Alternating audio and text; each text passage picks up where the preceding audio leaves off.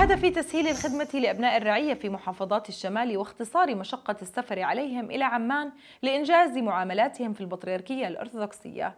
افتتح سيادة المطران خريستوفورس عطلة مطران الأردن للروم الأرثوذكس مكاتب الرئاسة الروحية ومكتب المحكمة الكنسية في إربد علاوة على إطلاق منصة إلكترونية خاصة بمعاملات الرعية.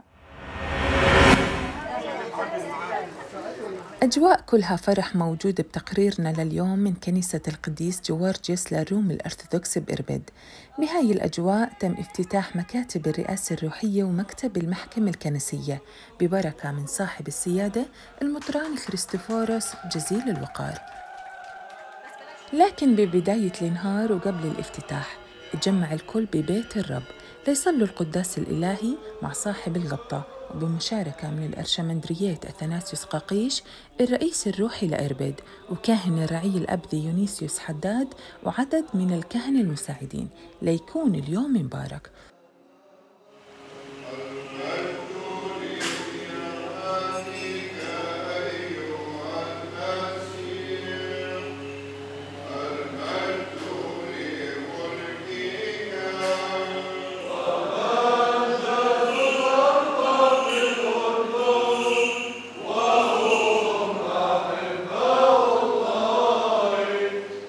محبة يسوع موجودة بالقداس وهذا اللي ركز عليه سيادته بالكرزة على الرغم من الأحداث اللي عم بتصير بالعالم وانشغال الناس بالإنترنت والغرور والكبرياء وغيرها من الأمور لكن لازم نضل مصرين على إيماننا بيسوع ونسلموا حالنا ومحتالنا ليمشي حياتنا حسب مشيئته.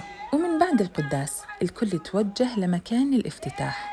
وزغروتة ومهاها من أخوية العذارى الحكيمات ضافت نكهة خاصة لهالافتتاح. وبالمي وأغصان الزيتون تبارك المكان.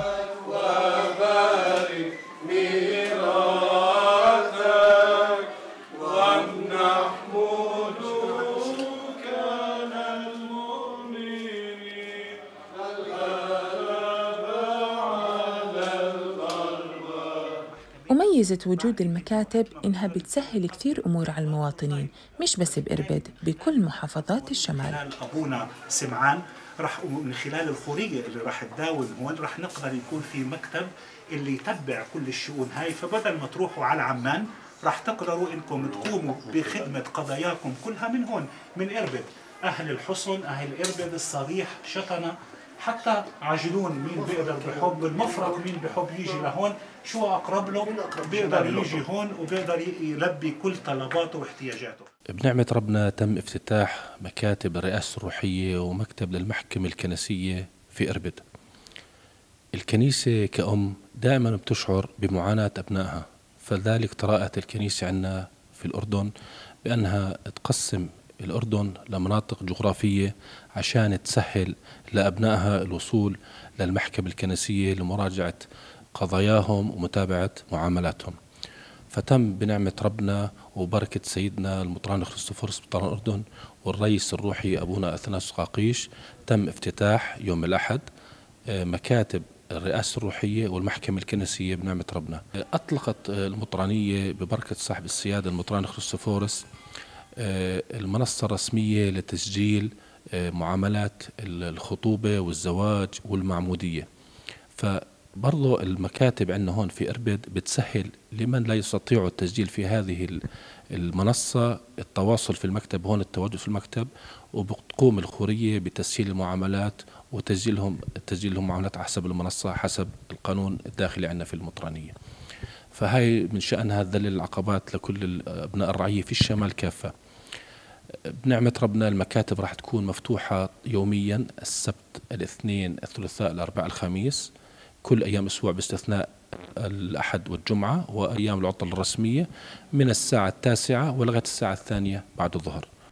والأبونا سمعان الخوري حكى لنا شوي عن بعض الأمور اللي بتخص مكتب المحكمة الكنسية. آه، الخدمة التي تقدم من مكتب المحكمة الكنائسية في إربد آه، هي ضمن نطاق آه، ضيق أو نطاق محدد.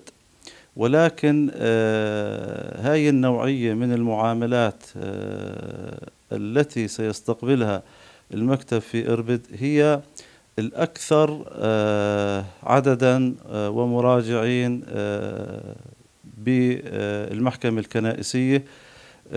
كونها بتمس موضوع الحصر الإرث والتخارج. الخدمة اللي بيقدمها المكتب في إربد استلام معاملات تصحيح الاسم. وأيضا هناك نقطة مهمة هي التصديق على القرارات الصادرة عن المحكمة الكنائسية في عمان آه، صورة طبق الأصل. وأيضا آه، نقطة مهمة جدا هي آه، ختم أو التصديق على حجة حصر الإرث أو التخارج بعدم إجراء تخارج حديث. أيضا من ضمن صلاحيات المحكمة في حال رأت هيئة المحكمة في عمان أن يتم سماع الشهود آه، أو خصوم في أي قضية منظورة أمام المحكمة الكنائسية. فأيضا آه، هذا الأمر متاح ضمن المكتب آه، في إربد. الكنيسة هي المكان اللي أبنائنا بيلجأوا له حتى يشعروا بالراحة وبالأمان وبالاطمئنان آه، وهذا الأمر آه، بمجمله ينعكس على نهضة كنيستنا الأرثوذكسية في الأردن وبشكل عام في البطريركية الأورشليمية المقدسية. وبعديها التقى سيدنا بالرعية ليسمع منهم أفكارهم ومشاريعهم وتناقشوا بمواضيع كثيرة ومنها قانون الإرث المسيحي. وبصراحة مشاريع وأفكار كثيرة ومهمة وكلها بخدمة الكنيسة والمجتمع. بحاول الأبونا ديونيسيوس والرعية توضيحها وعرضها بهاي الجلسة ومنها مبنى كامل متكامل لخدمة الرعية. من عروس الشمال إربد لقناة نورسات نيفين حداد.